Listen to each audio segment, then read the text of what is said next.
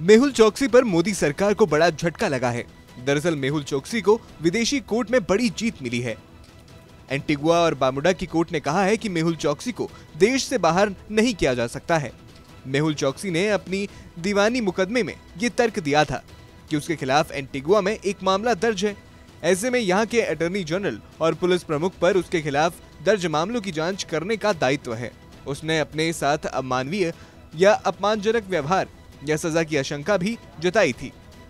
चौकसी ने एंटिगुआ और बामुडा की कोर्ट से अपने दावे की जाँच की मांग भी की, जिसमें ये कहा गया था कि 23 मई 2021 को एंटीगुआ और बामुडा से उसका अपहरण किया गया था।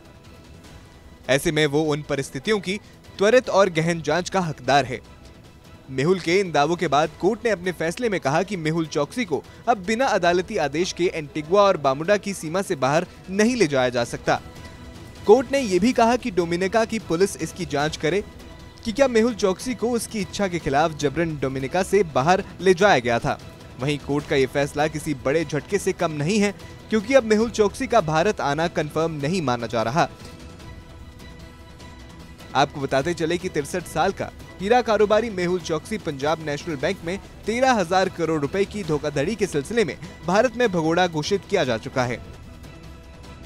वहीं सीबीआई का बयान भी सामने आया है, जिसके मुताबिक आपराधिक न्याय की प्रक्रिया का सामना करने के लिए भगोड़ों और अपराधियों को भारत वापस लाने के लिए सीबीआई प्रतिबद्ध है। वांछित अपराधियों और आर्थिक अपराधियों की पहचान और वापसी के लिए विदेशी कानून प्रवर्तन एजेंसियों के साथ संपर्क कर व्यवस्थित कदम उठा रही है। नमस्कार, मैं हूँ मानक गुप्ता। अगर आपको हमारा ये वीडियो पसंद आया हो तो इसे लाइक और शेयर ज़रूर करें। और हाँ हमें सब्सक्राइब और फॉलो करना ना भूलें, ताकि आप देश और दुनिया की कोई खबर मिस ना करें। तो जुड़े रहिए हमारे साथ और देखते रहिए न्यूज़ 24